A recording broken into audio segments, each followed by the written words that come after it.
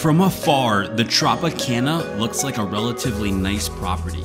Its white towers have almost a South Beach, Miami vibe. As you get closer and enter the property, it begins to become clear that this property has seen better days.